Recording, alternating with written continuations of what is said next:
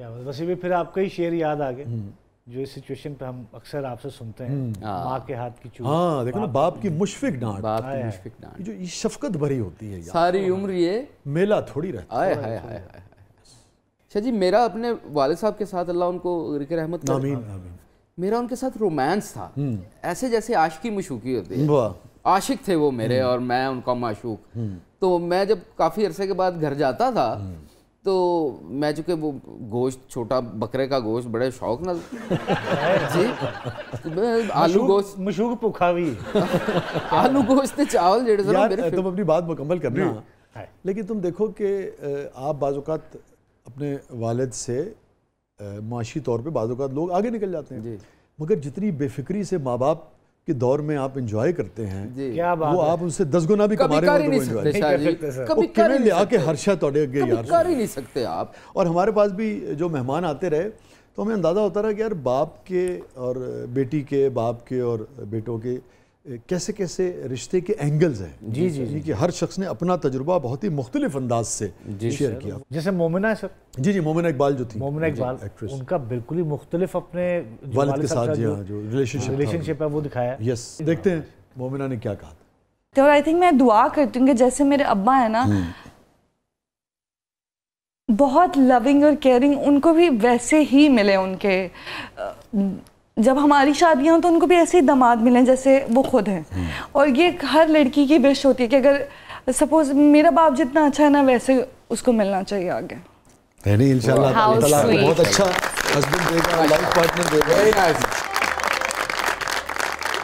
और वैसे ही देगा जैसे आपके वालिद हैं ऐसे ही आपका ख्याल रखेगा जैसे आपके वालिद आपकी वालदा का ख्याल रखें। बिल्कुल। अच्छा यार ये ना हर लड़की का हमने देखा है कि आइडियल जो है वो उसका बाप होता है। जी हीरो होता है। सर हीरो होता है। हीरो होता है। अच्छा तुम्हें याद है देखो इसमें ना एक अजीब चीज़ हुई थी इस शो में। हाँ एक अजीब चीज़ साथ बैठी हुई है। हाँ मतलब तुम्हें पता है इस शो में ऐसा लगा कि लाला ने पहली बार ज़िंदगी में अपने वालिद से कहा था कि मैं आपसे मोहब्बत हाँ हाँ जी, हाँ। तो आप देखो इस सेगमेंट की ये भी खूबसूरती निकल के आई कि झिझक जो है ना वो रिश्तों में नहीं उसको तोड़ना चाहिए। तोड़ना। चाहिए। कहना चाहिए इजहार करना चाहिए। बजाय इसके कि भाई बात के वक्त गुजर जाए और हसरत रह जाए। कि मैं अपने प्यो ਨੂੰ ਜੱਫੀ ਨਹੀਂ ਪਾਈ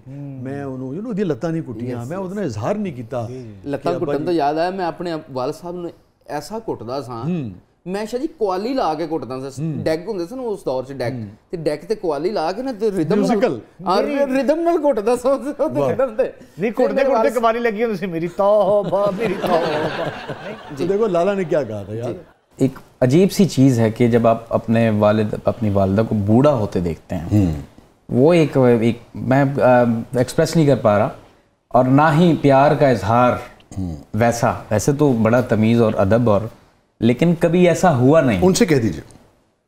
अब्बा पता नहीं देखे मैं तो कहता हूँ कि बस छोड़े रहने ही दे। मैं मैंने कह दिया कि अबू मैं आपसे बहुत प्यार करता हूँ। अम्मी को तो मैं कहता रहता हूँ तो बस ये है। ऐसे कहते अब मैं आपसे बहुत प्यार करता हूँ बुरा ना मानिएगा। अब देखो ना जैसे मैं अक्सर देखता हूँ मैंने अपने कुछ करीबी दोस्तों से इसका इजहार भी किया। मेरा एक बड़ा प्यारा दोस्त है बड़ा करीबी दोस्त है बचपन का। जी। और हो जाता है इंसान से अल्लाह ताला उसको माफ़ फरमाए। और जैसे कहते हैं ना थोड़ा सा उसने तंग किया अपने वालिद को। मैं देखता हूँ कि सारी ज़िंदगी वो नहीं कर सका। अब यार आप यकीन करें कि वो क्या होती है जो स्टेटस और डीपी और जो जी, है जी जी जी। जब से उसके वाले साहब इस दुनिया से गए हैं हम सब अब पचास के पेटे के लोग हैं जब से उसके वाले साहब इस दुनिया से गए हैं उसने अपने वालिद की तस्वीर नहीं बताई। हूँ मेरी अकंदा आते तस्वीर तस्वीर ला उसने खुद मुझसे एक दिन रोते हुए कहा कि काश जो तो अबा जी ज़िंदा सन्ना मैं उदों एक तस्वीर भी ला लेंदा और उदों मैं उन्होंने गलों पर अमल भी कर अब वो सिर्फ़ एक हसरत है एक पशेमानी है एक अफसोस है। और वैसे भी अभी आपने जवाद साहब का ज़िक्र किया तो ऐसी ही हसरत जवाद साहब ने भी जी बताई जी जी जी। मैंने तो देखे जवाब साहब को इसीलिए बहुत ज़्यादा क्रेडिट पेश किया क्योंकि सबसे पहले उन्होंने बड़ी खूबसूरत बात बड़ी खूबसूरत और बड़ी मुश्किल बात थी उन्होंने जो उन्होंने पब्लिक में आके कही। जी सर। और देखो ना वो फिर मुझे आका की हदीस जो है उस पर याद आती है जो आका दो जहाँ सरकार दो आलम सल्लल्लाहु वसल्लम ने फरमाया कि तू भी और तेरा माल भी सब तेरे बाप बाप वो देखिए उनको एहसास है इस बात का लेकिन उनके एहसास ने कितने यानी कि लाखों मिलियंस जो हैं लोगों तक वो पहुँचा और लोगों की ज़िंदगियों में कोई ना कोई तब्दीली यकीनन आई। कमेंट देखें तो लगता है कि पता नहीं क्या कुछ बदल जी। तो देखे तो जवाब भाई ने क्या कहा जी सर। यानी कि मौत के करीब आपा जी ने एक दिन मुझे कहा कि यार मैंने दो हज़ार रुपया दे दें। तो मैंने उनको एक हज़ार दिया। हालाँकि मेरे पास था। वो पता नहीं क्यों मुझे याद याद बार बार मैं क्यों ना दिया? मुझे ऐसे ऐसे होता रहता कि यार पता नहीं क्या सोच रहे होंगे या क्या कह रहे होंगे। ए की कीता तू? बल्कि एक दफ़ा मैंने कहा जी मैंने एक लाख रुपया चाहिए तो उन्होंने वो डेढ़ लाख दे दिया। मैं कहा अबू जी मैंने और यार कोई नहीं होना चाहिए ज़्यादा। यानी वो तो मेरे साथ ये करते रहे तो दो हज़ार मांग तो मैं कहा जी हालाँकि मेरे पास था। तो वो मुझे बड़ा एक ना कभी कभी मेरी ज़िंदगी का एक वो हिस्सा थोड़ा वो ब्लिंक करता रहता है। तू क्यों इस तरह किया से? ये बस होता है और मेरा ख्याल है ये नहीं होना चाहिए था। बाद में मैंने बड़ी माफ़ी मांगी लेकिन वो जो कहते हैं ना वक्त गुजर गया।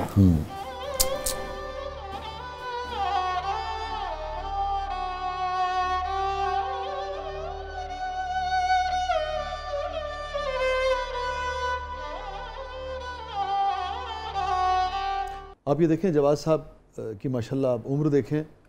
और उनकी आँखों की नमी देखें। एग्जैक्टली exactly, मैं यही कहना चाह रहा था उनकी आँखों से रियलाइजेशन है रियलाइज़ करना सारी ज़िंदगी वो कसक रही है और ये बात दुरुस्त है कि आप देखें बेशतर आप किसी भी बाप से बात कर लें वो अपने जो भी उसकी बिसात होती है उस बिसात के अंदर वो अपनी चीज़ें छोड़ देता है। जी। जो भी जिसकी माली हैसियत है कोई अगर गाड़ी ले सकता है तो वो गाड़ी नहीं लेता कहता मेरे बच्चे का काम हो जाए। कोई जूता ले सकता है जूता नहीं लेता कहता मेरे बच्चे का काम हो हाँ जाए। हाँ कोई कपड़े कहता है मैं ईद को छोड़ के दो साल के बाद बना लूँगा पुराने पालांगा इस्त्री कर दे माया ला दे पुराने तीन तीन साल चला लूँगा। मगर मेरे बच्चे की नवी तख्ती जो है वो और वही औलाद जब बाप बूढ़ा हो जाए अगर उसकी ज़रूरत के बाद कैलकुलेटर लेके बैठ जाए तो क्या बीतेगी? अब भाई तुसी की हर वे पैसे मांगते रहते हो? और ज़रा सोचें कि रब कितना नाराज़ होगा।